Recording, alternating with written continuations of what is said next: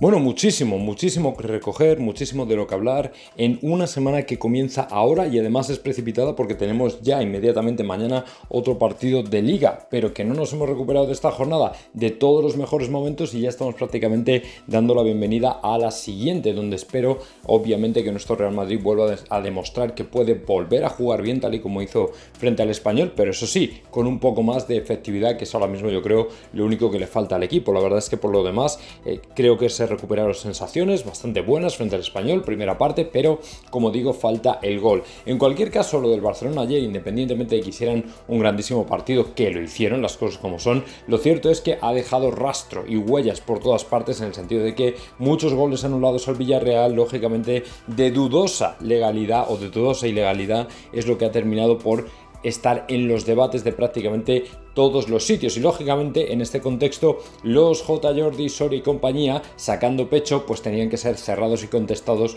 lógicamente porque el que es el auténtico maestro de ceremonias de todo este tipo de zascas por cierto tengo que mencionar el super zasca de Miguel Serrano y mi buen amigo Miguel Serrano a Víctor Lozano que fue del 8,4 en la escala de Richter, una absoluta barbaridad del que os voy a hablar en Twitter además, del que os voy a hablar un poco más adelante, ¿vale? Pero hay más cosas, porque ayer y antes de ayer se pronunciaron tanto Alfonso Davis como Alexander Arnold Trent al respecto de sus futuros, de sus carreras y encima Fabricio Romano con respecto a uno de ellos vino a reforzar todavía más la hipótesis que nos pone en la pista de Alfonso Davis para el Real Madrid muy próximamente. Y vamos a hablar de ello también, como también vamos a dejar caer la hoja de ruta que vamos a seguir con este nuevo chaval que mencionó José Félix Díaz, que precisamente tiene muy buena pinta para central, que juega en el Leipzig y que es un chaval de apenas 21 años, ¿vale? Así que vamos a desgranar un poco cómo va a ser, como digo, la hoja de ruta o el plan que va a seguir Florentino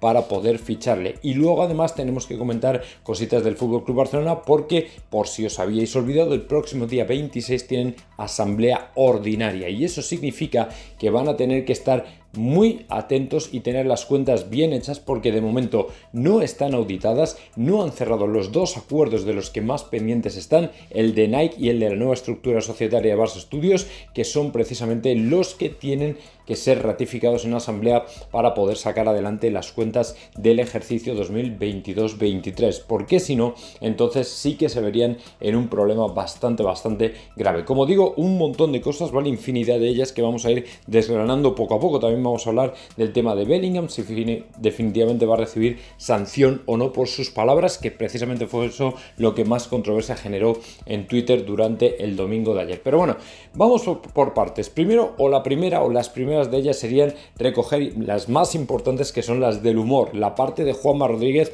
que respondiendo y contestando lógicamente a J. Jordi y a Cristóbal Soria, dejó un soberano reguero de zascas que sinceramente no podía pasar por alto. Luego también el estallido de Ronce pero bueno, ese ya es prácticamente al final. Juanma Rodríguez contestaba a J. Jordi al respecto de una fotito con el penalti, una fotito, pues eso, con la parte, digamos, más polémica del encuentro frente al Real Madrid del Real Madrid español, el tema de Bellingham, que se quejaba que no le iban a eh, eh, expulsar, que no le iban a sancionar, todo este tipo de cosas. Y automáticamente Juanma Rodríguez le dejaba aquí este maravilloso tweet donde decía, pues sí, sí voy a hablar de Negreira, un tipo que apoya o es seguidor de un equipo que había pagado a los árbitros durante 17 años ya que en otro país estaríais descendidos. Completamente de acuerdo. Lo primero hay que hacer cuando toda esta gente se ponga en plan cuñado, cuando toda esta gente se ponga en plan cafre, cuando todos te pidan sanciones, tarjetas, que hacemos lo que nos da la gana, el Real Trampas, lo que tú quieras, o sea, automáticamente hay que sacar la carta de Negreira porque es la más potente, ¿me entendéis? O sea, es que son y pensando bien, no es que tengamos que arreglar nada en nuestra cabeza para tener razón, es que estamos hablando de un equipo que ha pagado durante 17 o 20 años al número 2 de los árbitros y no están ni descendidos. O sea, ni descendidos, ni sancionados, ni absolutamente nada, porque lo cambiaron todo para no ser sancionados, lo cual es, es absolutamente vergonzoso. Entonces, claro, ellos se cansan de que estemos constantemente dándoles palos con el tema de Negreira. Pero si alguna vez les diera por ponerse en nuestros zapatos, por ponerse en nuestra posición, el tener a un rival que ha estado pagando porque se sabe está certificado. Al número 2 de los árbitros durante tantos años, y no ser sancionado, imaginaos si hubiera sido exactamente al contrario, si hubiera sido que el Real Madrid hubiera estado pagando el número 2 de los árbitros durante tanto tiempo. Porque sí, aquí todo el mundo lanza mierda de que si Florentino maneja los hilos, que si el palco, que si el presidente, que si el no sé qué, pero nadie ha sacado absolutamente nada que pueda demostrar toda la cantidad de basura que dicen que, por cierto, me parecería genial que algún día Florentino, con alguno que ya cruce la línea, le dé un toque y bueno, o sea, duro, gordo, que evidentemente vaya más allá. Porque si no, esta gente es que al final, si te das cuenta, le sale gratis. O sea, él controla, según ellos, los medios de comunicación y lo controla absolutamente todo, ¿vale? Pero aquí yo no veo más que gente que odia y está constantemente difamando a la figura de Florentino Pérez. Es increíble. O sea, es increíble. Yo no sé si es que hacen negocio con ello, o les sale rentable, o les sale a cuenta, o yo no sé, pero desde luego la cantidad de barbaridades que se dicen contra Florentino Pérez, si algún día las cogiéramos todas en un libro, o sea, haríamos una nueva Biblia. Es espectacular y sin embargo les sale gratis. O sea, les sale absolutamente gratis. Nadie va a actuar contra ellos. Y sin embargo están constantemente que Florentino maneja, Florentino maneja, Florentino maneja, Florentino maneja, pone y quita directores. Sí. Pero el único documento hallado en el que se certifica un pago al número 2 de los árbitros es del Barcelona. Mira tú qué casualidad. Y eso no lo dicen. Y lógicamente también le tenía que responder a Cristóbal Soria, pero claro, con este ya, o sea, es que va con el tema fuera. O sea, decía, el Botox te impide pensar con claridad, precisamente a respuesta de un tuit de Soria donde decía en el televisor de mi casa se vuelven a escuchar pitos en el Bernabéu con el juego tan tan aburrido y soporífero del Real Madrid. Y le respondía, el Botox te impide pensar con claridad. Bueno, con Cristóbal Soria es que no tiene ningún tipo de piedad. O sea, con el tema del Botox, el ácido hialurónico y todo este tipo de cosas, le atiza, pero ¿eh? O sea, no os creáis que no os creáis en algún momento que tiene ningún tipo de, piedad o que se lo piensa dos veces. Se conoce, entiendo yo, que tienen muy buen rollo o que deben tener muy buen rollo, porque como no fuera así, desde luego iban a estar, madre mía, a estacazos, pero, pero bien. O sea, una cosa tremenda. Pero bueno, de momento eso es lo que hay y ahora ya cada uno que piense lo que quiera. Cara, que es el penalti de libro con 0-0 y no se lo pitan. No, que estemos debatiendo cuando encima acierta el árbitro Linier. Que de 3-1 4-1. De verdad, que yo entiendo que hay madridista que de mí estoy hasta Y lo más gordo. Con lo que hemos visto en Villarreal. Hombre, ya está bien. Ya está bien, es que nos estamos callando y los madridistas tenemos un aguante, ¿eh? Y mira que tenemos 800 Copas de Europa y podíamos relajarnos y no sonreírle a disfrutarla. Pero hasta de que en esta liga tenemos que aguantar que el Madrid hasta cuando gana 4-1 con un acierto del árbitro Linier y se han comido un penalti, lo más claro de la liga, minuto 10, y nos tenemos que aguantar que nos digan que la derrota es, del español está bajo sospecha. ¿Bajo sospecha de quién? Que alguien que no le interesa asumir que el Madrid va a estar en la batalla, aunque se le ponga todo en contra. que, el Madrid va a insistir con arbitrajes civilinos. Me da igual.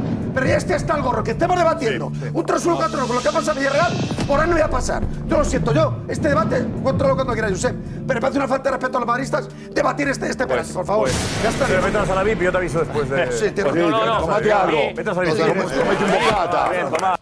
Y ahí lo teníais, Roncero reventando una vez más precisamente con el tema de las expulsiones, las polémicas, los partidos, el estar constantemente vilipendiando al Real Madrid. O sea, en realidad hace un buen resumen de la situación y sobre todo del hartazgo que ya tenemos los madridistas con determinadas cosas, determinados comentarios. Es un poco al hilo de lo que os comentaba con el tema de Florentino Pérez. Es que es constantemente dándonos palos por cosas que no se ha podido demostrar que hayamos hecho.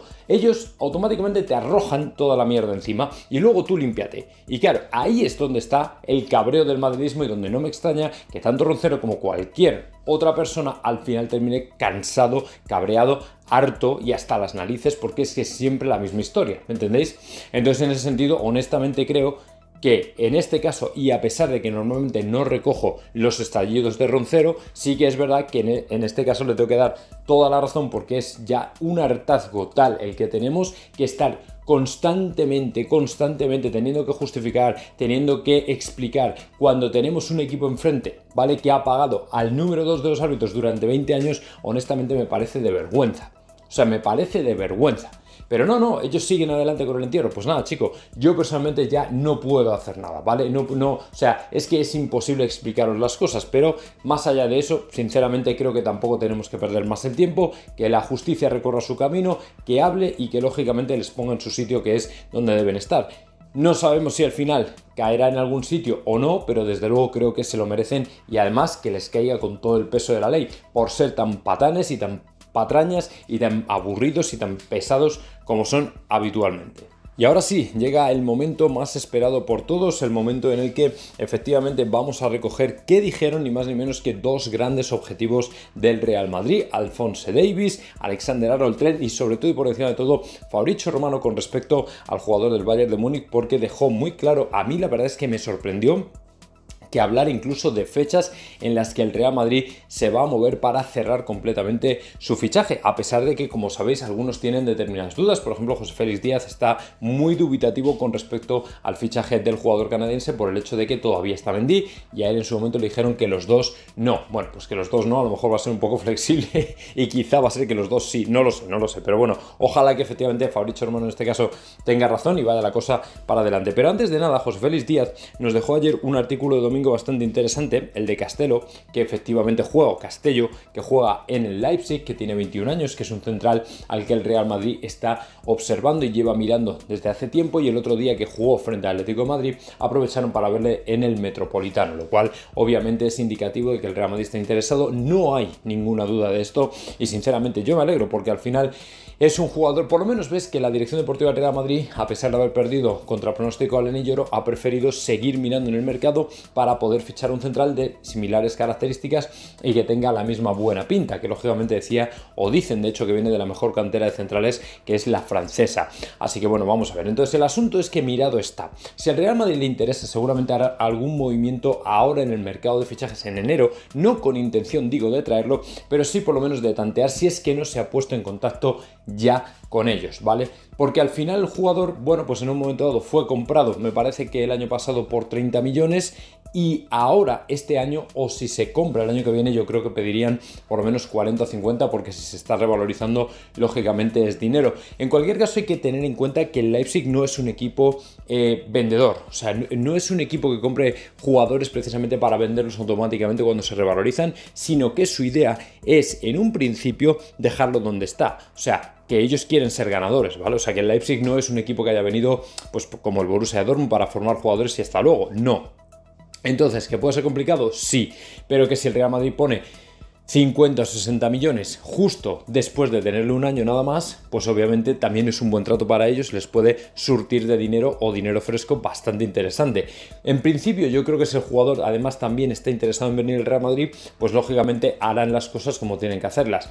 Todos calladitos hasta que llegue el mercado yo creo que ahora en este mercado ya el Real Madrid va a dar ese primer paso. Seguramente la primera, el primer paso de la hoja de ruta es ponerse en contacto con él una vez que le han mirado. Ya le han estado chequeando, pues seguramente se pondrá en contacto con él. Yo entiendo que ahora cuando se abre el mercado, cuando legalmente se puede hacer, ¿vale? El hecho de preguntar por el jugador, ir al Leipzig, tal, tal, tal, y se acabó. Y luego automáticamente, ya cuando el jugador dé el sí, supongo que entonces ya en el mercado de verano es cuando nos lanzaremos a por él, ¿vale? Así que por ahí queda un poco por cómo va a ir la cosa con este chaval. Luego, importante, ahora sí, Alexander Arnold Trent. Alexander Arnold Trent ayer dejaba a todos, no voy a decir boquiabiertos, pero sí bastante sorprendidos precisamente a todos aquellos que estamos detrás de saber y conocer qué va a pasar con él, ¿vale? Alexander Arnold decía, mi futuro, vale, quiero ser jugador del Liverpool esta temporada, eso es lo que voy a decir.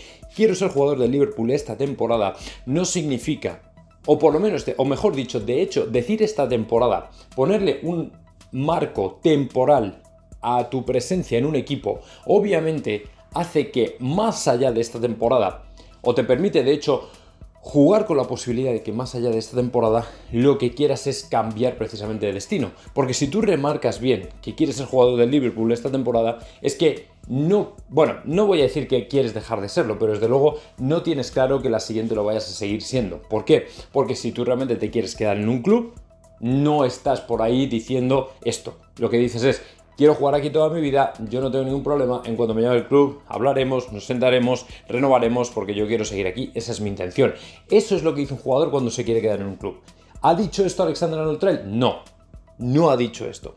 Entonces, una vez que no lo ha dicho, chico, no podemos hacerlo de otra manera. O sea, yo personalmente la interpretación que tengo es que este chaval está dejando una puerta abierta a poder salir. Porque en definitiva creo que él siente que ha llegado su momento, él siente que ha llegado la hora de abandonar, de abandonar el Liverpool para cambiar de aires. Y el Liverpool además me consta que también. O sea, el Liverpool es un equipo que ha entendido que ha sacado lo mejor de este chaval en sus mejores años, los años más jóvenes y que ahora ya sí le toca darle o soltar la correa para que se vaya a donde él quiera. Comentaban además que podría ponerle un precio precisamente para que no se fuera gratis, porque sabéis que viene gratis el año que viene o vendría gratis el Real Madrid el año que viene, pero en cualquier caso eso sería un precio simbólico. O sea, no creo que tampoco el Liverpool vaya a intentar jorobarle, fastidiarle y ponerle un precio inaccesible al Real Madrid precisamente para reventar el fichaje. Yo creo lo contrario. Hablaban por ahí de unos 30 millones de euros que el Madrid yo creo que sí, sí que podría pagar sin problema y automáticamente se haría el fichaje, ¿vale? Pero en cualquier caso hay que esperar un poco para ver si efectivamente esto se lleva a cabo o no. Pero por lo menos que sepáis que el jugador, desde luego, la puerta la ha dejado abierta, ¿vale? La ha dejado abierta. No es un no rotundo en absoluto, sino más bien lo contrario. O sea, esta temporada sí, la termina y luego ya el año que viene veremos, porque de momento no se ha sentado a renovar ni nada parecido, ni hay conversaciones ni nada parecido, ¿vale? Así que la cosa con Alexander Arnold Trent pinta, en mi opinión, bastante, bastante bien. Y luego, lógicamente, faltaba el que más nos interesa a todos, que es Alphonse Davis, ¿vale? Alphonse Davis ayer efectivamente lanzaba un mensaje que a todo el mundo le sonaba a despedida, el de siempre tendré al Bayern de Múnich en mi corazón. Claro, lógicamente, cuando tú escuchas esto, está claro que algo está pasando entre bambalinas, porque como he dicho con Alexander Arnold Trent, si tú realmente tienes pensado quedarte, si no hay en principio ninguna controversia, ninguna historia, ninguna otra cosa que te ate a tu equipo actual, automáticamente lo que vas a hacer es marcharte. Porque si no, tú no dices voy a tener a Bayern siempre en mi corazón, ese mensaje que suena claramente a despedida, puesto que lo que vas a decir es, sí, en breves fechas me sentaré con el club, hablaremos con el club, lógicamente renovaremos, intentaremos renovar porque mi intención es la de quedarme aquí, pues o bien para siempre o para mucho tiempo, porque estoy aquí muy a gusto, estoy muy feliz, lo que sea. Pero claro, cuando ya directamente dices, siempre le llevaré en mi corazón, pues hombre, si le llevas en tu corazón es que no lo llevas en la camiseta. Y como no lo llevas en la camiseta es porque realmente estás planificando marcharte. Y seguramente el Bayern de Múnich lo entiende igual. De hecho, ayer comentaban que el Bayern de Múnich iba a hacer una última intentona, lo decía Fabricio Hermano.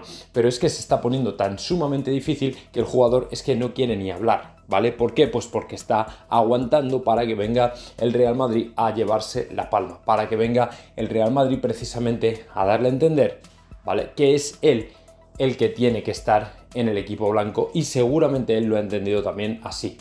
Lo ha entendido así en el sentido de que quiere fichar por el Real Madrid y de que el único movimiento que tiene que hacer es el del silencio el de no responder a las llamadas del Valle de Múnich a pesar de que lo intenten, que por cierto, la última oferta por lo visto por el jugador que iban a lanzar era bestial, o sea, le iban a poner un montón de pasta sobre la mesa y todo ese tipo de cosas, pero al final eso parece que no se va a llevar a cabo.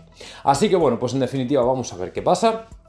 Vamos a ver cómo va la cosa. Yo espero que bien, yo espero que al final todo salga bien. Lógicamente nunca podemos dar nada por sentado, pero honestamente creo que lo de Davis pinta muy muy bien, exactamente igual que lo de Alexander Arnold.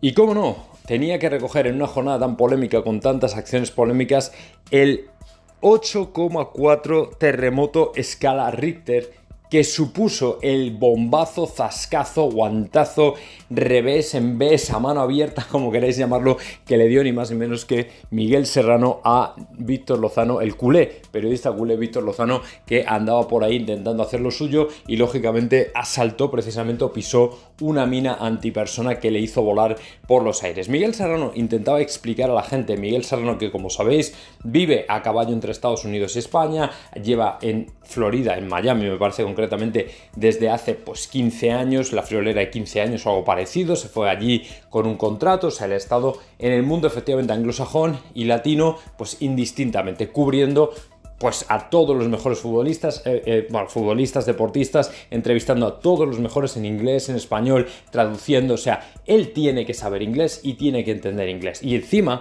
es que es ciudadano estadounidense, que ha sido hace muy poco, hablaba con él hace pues unos meses ya, que estaba con la gestión efectivamente de la ciudadanía estadounidense y bueno, pues había conseguido el pasaporte y bueno, pues joder, es que es una persona con muchísima autoridad para traducir lo que Bellingham dijo el otro día, el famoso What a piece of shit, que básicamente era al referencia de la acción, no diciéndoselo al árbitro. Él no le dijo you are, ¿vale? Él no le dijo eres un pedazo de mierda, él dijo qué puto asco, qué pedazo de mierda, what a piece of shit, que es básicamente la traducción y que es una expresión que se suelta pues como si tú dices qué puta mierda o qué puñetero asco o qué lo que sea, pero no necesariamente contra una persona. Pues bien, Víctor Lozano quiso ir de listillo y automáticamente atacó a Miguel Serrano precisamente por esto.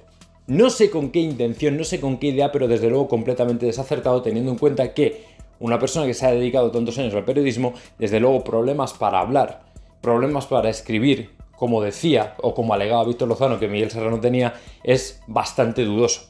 Pero claro, cuando Miguel Serrano lo ve y automáticamente le escolariza y le explica su background, su contexto, sus antecedentes, pues claro, el zasca quedó lógicamente para toda la historia épica de Twitter. Yo hace muchísimo que no veía uno mejor, ahí os lo he dejado. O sea, es absolutamente fulminante el bofetón el bofetón que le dio. es que fue espectacular. Así que bueno, pues en ese sentido me alegro por Miguel Serrano, que efectivamente, como decía luego, a lo mejor me he pasado un poco. No, no te has pasado, te has quedado justo. Te has quedado justo. Desde luego, si hubiera sido otro, hubiera sido incluso peor. Porque aventurarte a decirle a una persona que habla español e inglés perfectamente que no sabe hablar o que no sabe decir es como para esto y seguramente mucho más. Pero bueno, esperemos que Víctor Lozano haya aprendido la lección y no se vuelva a meter con quien no debe.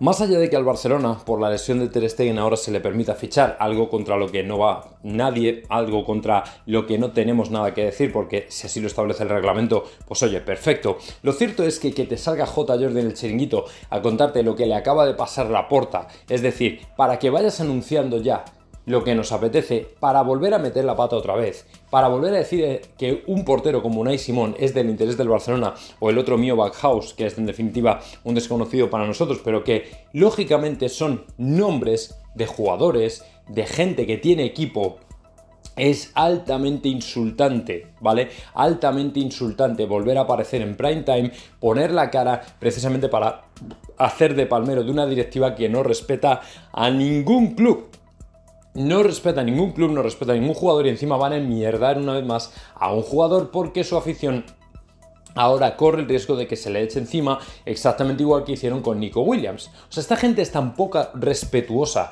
que no se da cuenta del daño que le puede hacer un jugador precisamente por esto. Porque en definitiva ese jugador al que tú nombras, al que tú citas, independientemente de que seas de tu interés, obviamente tienes que ser cuidadoso porque ese jugador, como digo, tiene una afición que se le puede echar encima. Pero no, es que esta gente es que va con el tema fuera, o sea, es que le da absolutamente igual todo, ellos miran por sí mismos y lo que a ti te pueda parecer de si Unai Simón o no tiene equipo, no tiene equipo, o les interesa o no, a ellos les da igual, o sea, es que ellos tiran adelante como hicieron con Nico Williams y luego ya, si su afición se les echa encima, que les den, luego lo desecharán, se irán a por otro, pero ahí han dejado el, problema, ¿me entendéis? O sea, ellos sueltan la bomba de humo, revientan a todo el que está a su alrededor y luego ya que venga Dios y ya dirá. O sea, es que es espectacular la poca vergüenza que tiene esta peña. Es espectacular la poca vergüenza que tiene esta gente. O sea, es que no han conocido ningún tipo de código ético, de buenos valores, de buenos principios, para luego que te digan que vienen con los valores y todo ese tipo de basura. O sea, después de hacer esto otra vez, venga hombre, iros al carrer y a canaletas. Y luego yo no sé sinceramente, pero supongo que a Guardiola, a la vista de estas patadas que le daba ayer al asiento durante el partido frente al, Arsenal, en ese empate que seguramente no esperaba, claro, lógicamente uno tiene que decir, claro, a este hombre ya le tiene que estar pasando factura lo que se le viene encima. No es solamente la presión del juego, la presión que se ejerce él precisamente para ganar todos los partidos, es que además tenemos que tener en cuenta que al City está a punto de caerle una de las mayores sanciones históricas que se recuerda, es decir, el seísmo que está punto de producirse en el Manchester City a causa de la sanción y la presunta diáspora que se puede producir de jugadores, es decir, de salida masiva de jugadores, lógicamente tiene ahora mismo a Guardiola de los nervios y obviamente ayer lo expresó, lo manifestó, lo exteriorizó de esta manera, dando una serie de patadas al asiento que tú dices, madre mía, está, no voy a decir para que lo encierren, pero sí de alguna manera, como decir, está echando al fin y al cabo la, la presión que al final le está pudiendo, el estrés que le está pudiendo precisamente por todo lo que se ha generado de ruido alrededor de la que le puede caer al Manchester City, que desde, luego no es ninguna broma. O sea, es que les puede caer una muy gorda. Se ha insinuado de todo. Más de 100 puntos, descenso, expulsión de todas las competiciones y obviamente yo creo que eso a él le tiene pues básicamente amargado, hecho polvo, destrozado y en definitiva sí luego además empatas frente al Arsenal en un partido en el que tú presumías que seguramente ibas a ganar, pues evidentemente estás dándote cuenta de que se acerca el final de todo. Sabes que Guardiola además creo que no quiere seguir mucho más allá de esta temporada y que podría empezar a explorar nuevos destinos eh, para, no sé, te comentaban por ahí que la selección de Brasil y alguna otra selección o lo que sea, pero seguramente ya estará pensando en dejarlo porque lo primero les van a calzar y muy duro y lo segundo porque él ya ha cumplido una etapa que también hay que reconocer, ha ganado muchos títulos, seguramente querrá algún tipo de nuevo desafío, no siempre la misma historia. Así que bueno, pues a partir de ahí vamos a ver qué pasa, pero desde luego Guardiola está tremendamente nervioso probablemente por lo que se le viene encima. De lo que se debería preocupar un poquito más el Fútbol Club Barcelona es precisamente de haber auditado las cuentas y llegar al día de la asamblea con los números hechos, cosa que desde luego no tienen y déjame que os diga que les quedan tres días de calendario, ¿vale? Porque el día 26 hay asamblea de socios y evidentemente como no tengan las cuentas van a tener un problema. Lo que pasa es que de esto no os hablarán, pero no han cerrado el acuerdo con Nike, no han cerrado la nueva estructura societaria de, de Bridge Invest o como se llame. Y precisamente son los acuerdos que necesitan para el 1-1 y sacar las cuentas 22-23, que es lo que necesitan para que los socios les sigan aprobando la gestión, que es lo que no tengo yo tan claro, aunque luego si la asamblea de socios está a muerte con la puerta, como veíais ayer en ese vídeo de Ramón Álvarez de Mon, la estructura familiar que tiene todo el tema del Barça, los acuerdos, los contratos y todo este tipo de cosas, pues evidentemente creo que se entenderá mejor por qué y cómo funciona y opera el Fútbol Club Barcelona, que no responde a ningún tipo de lógica, ¿vale? No responde a ningún tipo de lógica. Pero bueno, en cualquier caso, por lo menos que sepáis que la cosa va por esos derroteros y que la cosa va por ahí. O sea, que no tienen las cuentas auditadas y que lógicamente esto puede ser un bofetón muy grande en el corto plazo del Fútbol Club Barcelona porque deberían haberlas tenido ya hechas, precisamente para poder salir adelante, no tener ningún problema y evidentemente que los socios aprobaran la gestión. Pero como ahora mismo todo lo que ocurre en Barcelona está fuera de onda, en el sentido de que no se rigen como una empresa normal, sino que parece más bien una especie de pequeña empresa familiar, de la familia, podríamos decir incluso, pues evidentemente este tipo de cosas ocurren. Si el Real Madrid se presenta en una asamblea de socios sin las cuentas hechas, le caen por todos los lados, o sea, le caen por todos los lados. Y sin embargo, es como el día y la noche. Pero bueno, que ellos saben lo que tienen que hacer, cómo se la jueguen con las cuentas y no salgan, Dani Olmo a tomar por saco y las cuentas del año pasado reventadas por todos los lados. Y lógicamente a la puerta le saltarían todas las costuras. Veríamos a ver qué pasaría. José Félix Díaz, que tiene muy buena información también al respecto del CTA, de la Federación, aparte del Real Madrid. Lo cierto es que nos adelantó y nos filtró ayer que no había intención de sancionar a Bellingham. ¿Por qué? Pues porque, como bien explicó Miguel Serrano, evidentemente lo que dijo Bellingham no iba dirigido al árbitro a pesar de toda la mierda que han echado desde Barcelona, intentando enmierdar, intentando ensuciar, intentando que nos creamos que Bellingham había atacado de manera absolutamente clamorosa al árbitro con un insulto. No es así, ¿vale? Esa expresión que el inglés hizo es una expresión al aire de frustración, de rabia, pero que no tiene nada que ver. Además es que tampoco estaba recogido en el acta arbitral al parecer, con lo cual no se pueden iniciar acciones con Bellingham, es decir, no puede haber sanción. Si esto no son capaces de entenderlo, es su problema, ¿vale? Es su problema. Yo personalmente ni me meto ni me dejo de meter. Yo creo sinceramente que hasta que no se den cuenta de cómo funciona el reglamento y sobre todo de cuál fue la verdadera intención del inglés, honestamente van a seguir frustrados. Es como el tema de si lo de Hendrix salió de banda el balón o no salió de banda. Como te pone la perspectiva frontal, pero no te pone la cenital, pues evidentemente para ellos el balón salió de banda y ya está. Y da igual que tú vengas con 50.000 fotos a explicarles, a escolarizarles, a hacerles entender que esto no es así, pero bueno.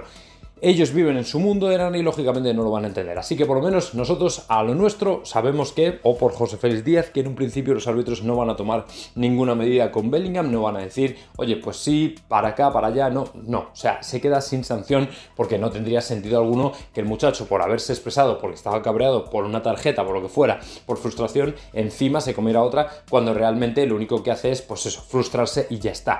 Que luego es verdad que Bellingham tiene que tener cuidado, porque lógicamente en un momento dado lo podría podría haber tomado erróneamente el árbitro y haberle, haberle calzado también. O sea, tiene que tener cuidado para que no se confunda nada, pero lo que es cierto es que hubiera sido completamente injusto sancionarle cuando él realmente no está y se vio perfectamente que no está insultando al árbitro en nada parecido.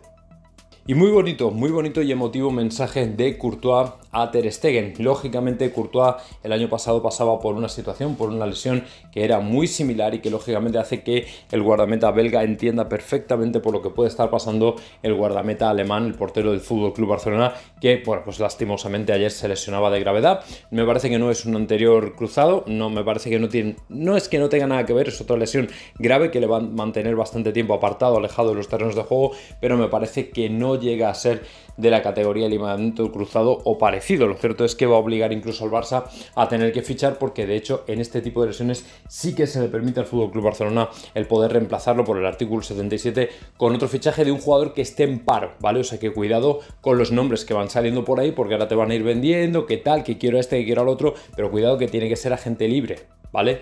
Tiene que estar sin equipo. Eso seguramente nos lo dirán, pero tiene que estar sin equipo. Es que esta gente luego te empieza a vender nombres, que si no es Simón, que si no sé qué. Bueno, bueno, tranquilos que no vale todo, ¿vale? No vale todo. Pero bueno, más allá de eso, lo cierto es que como veis, tanto Courtois como Tony Cross tuvieron automáticamente esa reacción de intentar ayudar a una persona. Es decir, un portero, un jugador que ha caído en una lesión tan gorda, evidentemente se merece el apoyo, el respeto, el cariño de absolutamente todos, ¿vale? El cariño de absolutamente todos los jugadores, compañeros de profesión, que evidentemente más con razón de que han pasado muchas veces por lo mismo, por la misma situación, porque la conocen, porque saben de lo que va el tema, pues evidentemente se solidarizan con él. Y creo que esto representa muy bien los valores del Real Madrid, que Courtois lógicamente tiene muy bien asumidos. Yo creo que él sabe perfectamente qué era lo que tenía que hacer. Lógicamente el portero del máximo rival tiene que estar ahí para dar un paso al frente y ser elegante, ser educado y lógicamente decir, esto es lo que me toca hacer. Así que, verdad, un gesto maravilloso el de Thibaut Courtois con Ter Stegen, al que por supuesto le vamos a desear una prontísima recuperación, porque al final de eso se trata. Pues sí, efectivamente, mañana jugamos contra el Alavés y tenemos ni más ni menos que a Carvajal tocado. Eh, lo último que he podido leer, aunque de esto, bueno, cogedlo todo con pinzas porque nunca se sabe hasta el último minuto, e incluso aunque se sepa, Ancelotti siempre es más cauto de lo que mucha gente puede pensar. Carvajal y Bellingham están ahora mismo en el alambre. Es decir, Bellingham mantiene en vilo al Real Madrid por el tema de la hostia que se dio el otro día en el hombro, porque es que es reincidente. Esa zona, lógicamente, no era la mejor para aterrizar y, evidentemente, podría resurgir una lesión que ya le ha dado muchos problemas y que, en mi opinión, hizo caer su rendimiento justo cuando se produjo. Entonces, ahora mismo está en el aire. Carvajal, exactamente igual, está tocado. Carvajal es que lleva un ritmo que lo que me extraña es que no haya, reventado ya. O sea, es una cosa tremenda de locos lo que juega con el Real Madrid, lo que juega con la selección, por sus propias características, esa inclinación a lesionarse que parece que se había agotado, pues tiene que llegar algún momento en el que al final vuelva a recaer.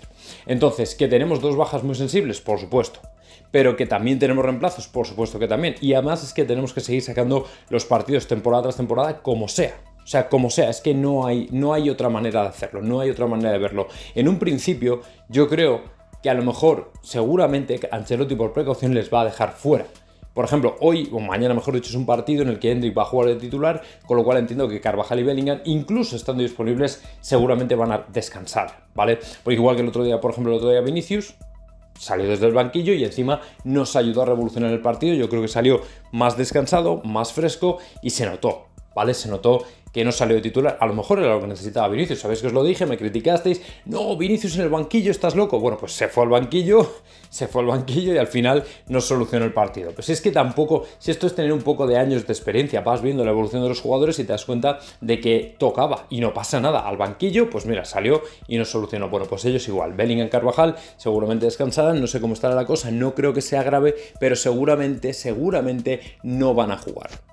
Y efectivamente, cuando el otro día vimos cómo Munera Montero le sacaba la amarilla a Mbappé, los gestos que hacía, ¿vale? La expresión corporal ya decían que por si él hubiera sido, le hubiera expulsado. O sea, a mí no me queda la menor duda de que hubiera tenido ganas y que de hecho las tuvo, porque como comentan aquí, efectivamente amenazó con expulsar al jugador. Y lógicamente todo el mundo se ha quedado como diciendo, joder, es que no tienen piedad. Es que la manera en la que efectivamente, y la razón y el motivo por el que le sacó la amarilla a un Mbappé que hasta ahora está siendo de perfil bajo para todo, prácticamente, o sea, no está reventándolo tanto como pensábamos, pero bueno, va en una progresión ascendente que en mi opinión va a ir para bien, pero en cualquier caso, lo cierto es que Mbappé al final es un tío bastante tranquilo, bastante calmado, bastante callado, no se suele meter en líos y de repente se come una amarilla que dices tú, hombre, esto es un poco exagerado, simplemente por un gesto pues de disconformidad, de disgusto, se come una amarilla. Pero es que encima amenazó con expulsarle. En el caso de reiteración, pero chico, que acaba de hacer la primera en España. O sea, me parece que es la primera tarjeta amarilla de Mbappé en la Liga Española. Estás amenazando ya con expulsarle. O sea, pero tú de qué vas? Es que, claro, al final hay muchos árbitros que les gusta ser estrellas y que de alguna manera quieren contar en su haber con yo le saqué la primera roja a este chaval, yo le saqué la primera amarilla a este jugador, yo le saqué, yo le expulsé por primera vez, porque luego todo eso queda en su historial y se enorgullecen, ¿entendéis? Se enorgullecen. Y a mí eso me parece absolutamente increíble, o sea, me parece absolutamente increíble. Entonces, sinceramente, este tipo de actitudes son las que cabrean al madridismo y en definitiva nos tienen luego siempre pendientes de la labor arbitral porque dices tú, ¿por qué me expulsas? ¿Porque me, lo merezco o por inquina hacia mí y hacia mi equipo? Es que ya no lo sabes, o sea, no lo sabes. Entonces hay que andarse con mucho juego en esta gente porque desde luego no es moco de pavo, no es moco de pavo en la situación que nos ponen. No es moco de pavo. O sea, cuidado con todo esto, de verdad, que al final parece una tontería, pero uf, ojo, Ojo lo que tenemos que aguantar semana tras semana. Y efectivamente, reforzando lo que ayer dijo Alfonso Davis o el mensaje de Alfonso Davis con respecto a su futuro, vino Fabricio Romano ni más ni menos que a decir o a describir cómo van a ser los movimientos del Real Madrid que de momento permanece trabajando a la sombra, aunque en realidad el trabajo ya gordo está todo hecho, y luego en enero volverán a aproximarse al jugador y al entorno para saber y hacerle saber que siguen interesados en él. Sabéis que Alfonso Davis tiene que renovar, lógicamente hay que tener mucho cuidado porque a lo mejor te encuentras con que pega un giro de 180 grados y renueva, por supuesto que sí, siempre tendré al Bayern mi corazón, todo ese tipo de cosas, son mensajes que pueden tener un doble filo, ¿vale? Que a lo mejor los interpretas de una manera, pero resulta que luego salen por el otro sitio, pero en cualquier caso yo creo que fue para mí un mensaje más de despedida que otra cosa. Y en un principio, con lo que acaba de comentar, lo que dijo anoche Fabricio Hermano, creo que va también por ahí la situación. Es decir, que en un principio, en un principio, el periodista italiano afirma que el Madrid se va a mover en enero para seguir cerrando o acercando o asegurando el fichaje del jugador que además vendía gratis, se tiene que marcar un Mbappé, ya sabéis que es la misma estrategia, pero el Madrid sigue cerca o sigue de cerca al jugador, seguramente habría prima de fichaje también para él, no lo sé, 20 millones, 30 millones, no sé a qué punto habrán llegado de acuerdo, seguramente el traspaso que le pudieran pagar al Bayern de Múnich se lo pagarán al jugador o un poco menos, pero lo que sí parece cierto es que podemos sacar o casi llegar a la conclusión de que efectivamente va a ser jugador nuestro. O sea que realmente no va a haber ninguna duda. Así que bueno, pues ojalá que así sea, ojalá que no haya ningún tipo de contratiempo, ojalá por supuesto que el jugador no renueve con el Bayern de Múnich, que me parecería no insultante, pero sí sorprendente, teniendo en cuenta que es su próximo paso en su carrera deportiva y que cualquier anuncio de renovación o parecido, honestamente sería un tanto extraño, ¿vale? Yo lo vería un poco extraño. Así que bueno, vamos a ver qué pasa con el tema Davis, todavía que esperar un poco hasta el mercado de enero y a partir de ahí seguramente ya tendremos noticias de lo que ha hecho el Real Madrid o no con el jugador. Y ya lógicamente nosotros, que todavía no hemos empezado esta temporada, estamos ya fantaseando con la que viene, porque no dejan de dispararse los rumores de que el City va a ser fundido los plomos, o le van a fundir los plomos, hasta el punto de que sus agentes ya se están reuniendo con el City para buscar una salida a sus jugadores, lo cual ya es mucha, mucha tela. Y lógicamente el Real Madrid va a pescar en Río Revuelto, porque como cualquier otro equipo, tiene que buscar sus mejores o los mejores intereses o los intereses que más le convengan. E intereses que convienen son tener a un jugador como Rodrigo y tener a un jugador como Haaland, que son en principio los que más pintan para el Real Madrid. Yo estoy convencido de que al final vamos a ir a por ellos. O sea, como efectivamente el Manchester City se ha calzado y crujido con una expulsión, con un descenso no lo sé, pero con una expulsión sí que veo una diáspora de jugadores que el Real Madrid podría aprovechar para pescar a este, a este y al otro, ¿vale? Yo para mí Rodrigo y Haaland son los dos, luego puede haber algún otro por ahí que no sepas, pero está claro que son los dos objetivos primordiales, ¿vale? Pero es que luego tenemos a Florian Wirtz en la cola de espera, que lógicamente, como dijo Fabricio Hermano, su futuro puede estar ligado a Xavi Alonso, pero cuidado que un tipo de la talla de Florian Wirtz sí que puede entrar en los planes del Real Madrid. Pero es que por si esto no era poco, nos vamos a Alfonso Davis, que vendría a reforzar un lateral izquierdo absolutamente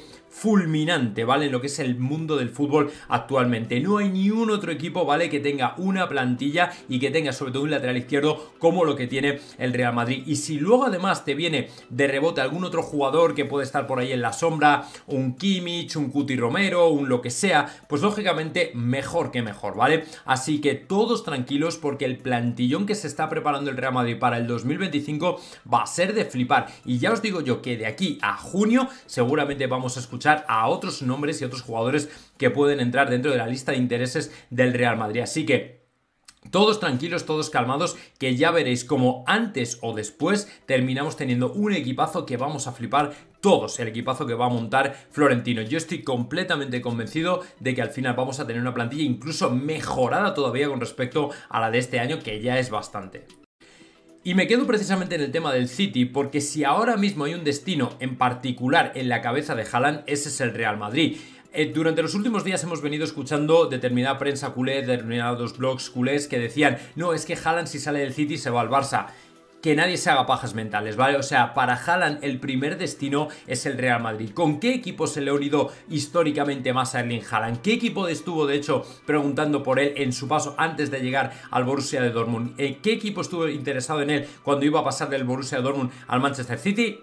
Decídmelo, sí, sí, el Real Madrid, ¿vale? Ahora mismo el jugador que tiene negocios en España, y sabéis que es un enamorado de España, lo cierto es que tiene el Real Madrid como principal destino en su cabeza. Por eso se ha hecho la cláusula liberatoria. Sabéis que José Félix nos lo dijo la última vez, el último directo. El jugador va a estar muy pendiente de cómo evolucione toda la plantilla del Real Madrid, pero que todo se podría precipitar con una sanción del City que podría hacer que efectivamente al final y por fin viniera ni más ni menos que el jugador al Real Madrid, por supuesto. Que por ejemplo se cayera, que yo creo que no, ¿vale? Porque yo ayer vi a un Vinicius más enchufado, es verdad que salió desde el banquillo, pero a un Vini más enchufado, a un Mbappé que ya va cada vez más para arriba y a un Rodrigo que está muy bien, con lo cual veo difícil que Haaland a lo mejor pueda esperar una caída de alguno de ellos como para entrar. Lo veo muy difícil, ¿vale? Tengo que ser con esto con vosotros. Pero que si efectivamente hay sanción del City, dices tú, hostia, ¿cómo no vamos a fichar a Haaland si realmente el Real Madrid puede querer traerlo precisamente para traer un pedazo de jugador que lógicamente además vendría con descuento porque daos cuenta de que Haaland tendría que buscar un equipo que eh, quisiera contar con él, que le pudiera pagar el sueldo, pero teniendo en cuenta que viene porque él quiere seguir jugando. Es decir, quien está en necesidad no es el Real Madrid, es el propio jugador. Con lo cual, Real Madrid, primero, no tendría que hacer un desembolso loco. Segundo, no tendría que pagar un salario de locos, ¿vale? Así que creo que el Real Madrid está en una posición inmejorable para ir a por el jugador. Que luego se puede hacer o no, no lo sé, pero ojalá que vayamos por ahí por ese derrotero y que nos lo traigamos.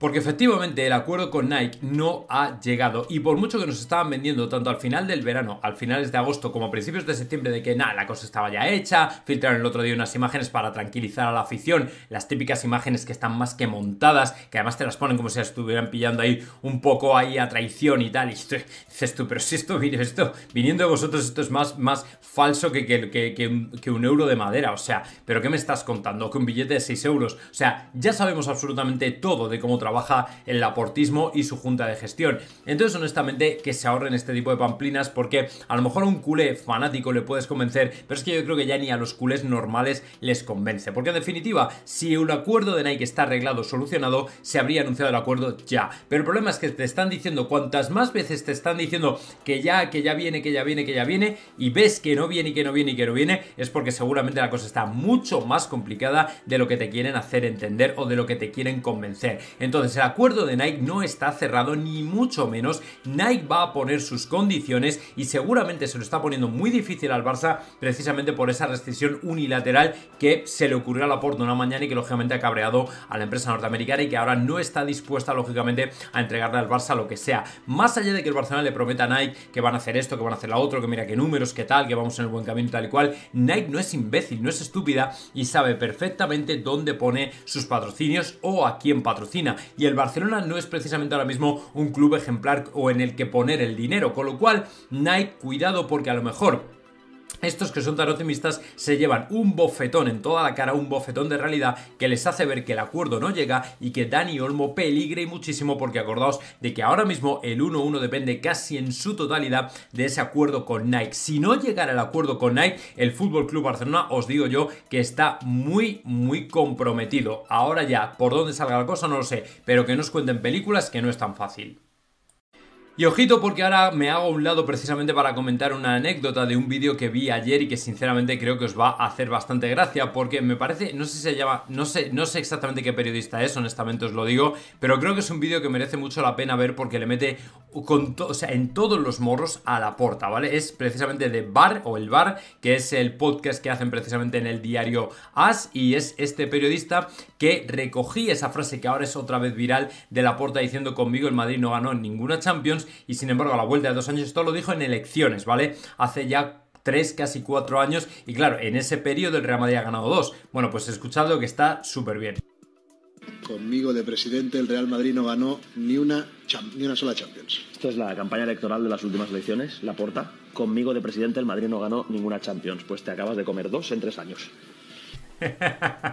pues te acabas de comer dos en tres años. O sea, es una realidad como un templo. Y lógicamente ahora ya al Fútbol Club Barcelona le queda muy poca excusa precisamente de por qué el Real Madrid consigue Champions, por qué ellos no, por qué la liga no va como a ellos les gustaría, por qué ganaron una liga con fichajes que no debieran haberse inscrito, que efectivamente se inscribieron con palancastrucha, todo este tipo de cosas que han sido de alguna manera lo que han marcado la gobernanza de la porta, que veremos a ver si no termina de manera precipitada en julio del año que viene cuando se adelanten elecciones porque yo estoy prácticamente convencido de que le van a forzar a adelantar elecciones si no hay una moción de censura de por medio. Cuidado que la porta en teoría tiene hasta 2026, si no recuerdo mal, pero yo sinceramente con la situación económica como tiene el Fútbol Club Barcelona ahora mismo, veo tremendamente complicado que el presidente agote su mandato sin tener que convocar elecciones antes, porque hay muchísimo ruido alrededor, sabéis que está disparando el gasto en absolutamente todo y están muy preocupados sobre todo, y por lo que os voy a decir, porque la con Nike no ha llegado por mucho que nos estén vendiendo que en 15 días estaba hecho. También en verano nos vendieron que estaba hecho, pero ya os digo yo que la cosa pinta mucho peor de lo que nos dicen. Y fijaos que curiosamente, aunque pueda llamar a engaño el titular, lo cierto es que Rodrigo ayer fue el que reconoció que efectivamente una vez más Ancelotti les tuvo que llamar la atención en el vestuario. Esto es una pena porque además ya es reincidente, ¿vale? O el hecho de hecho es reincidente, no es la primera vez. De momento el Real Madrid, creo, me parece que lo están comentando por aquí, solamente Mallorca ha sido capaz de marcar en la primera parte. En ocho partidos eso es algo que es de hacerse mirar, ¿vale? Entonces Rodrigo efectivamente reconoció que durante el, descanso les dio un toque de atención, por lo visto, bueno, una manera de decir que les echó una bronca, porque les echó una charla, porque por lo que han contado por ahí, se escuchó en todos los lados, decía, hemos reaccionado rápido, pero el mister antes de la charla nos lo ha dicho, que estamos mal en las primeras partes porque solo hemos marcado contra el Mallorca en el primer partido de liga, tenemos que hacerlo mejor, hay otra vez que no marcamos pero en la segunda salió todo bien. El problema es que el Real Madrid parece que le cuesta entrar al partido, pero tengo que decir que ayer no fue ese tipo de partido.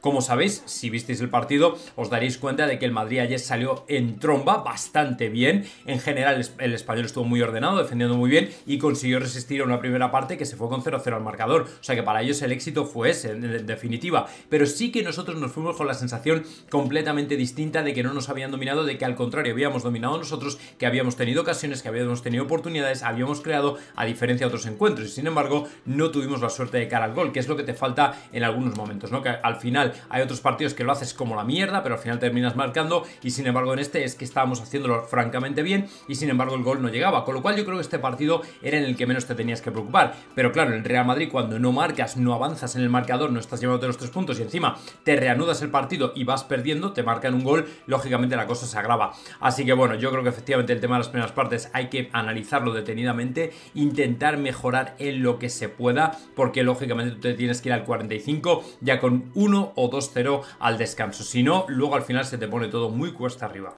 que cada vez que habla Emilio Butragueño todo el madridismo tiene que poner muchísima atención porque las palabras del director de Relaciones Públicas del Real Madrid honestamente creo que siempre hacen la diferencia. Yo creo que es algo que no engaña absolutamente a nadie y que todos tenemos muy bien asumido. Por eso cada vez que habla Emilio Butragueño hace, bueno, todo el madridismo le hace la ola precisamente porque representa mejor que nadie, es decir, verbaliza exactamente lo que estamos sintiendo absolutamente todos, ¿vale? Entonces ayer Emilio Butragueño dejaba estas maravillosas palabras en diferentes puntos y aspectos del encuentro. El resumen era una victoria merecida, lógicamente, como no podía ser de otra manera. El español fue un rival ordenado que defendió francamente bien, pero son los goles los que cambian los partidos, completamente de acuerdo. El análisis, una de nuestras virtudes es contar con jugadores de una categoría extraordinaria que en una jugada cambian el partido. El centro es perfecto con el exterior, el de Vinicius, pero si vemos toda la jugada, comprobamos el movimiento que hace Rodrigo acompañando a Vinicius y cómo entra en el área esperando ese centro que es muy difícil y muy precioso, pero estaba donde tenía que estar exactamente. La inteligencia, efectivamente, es lo que tiene que demostrar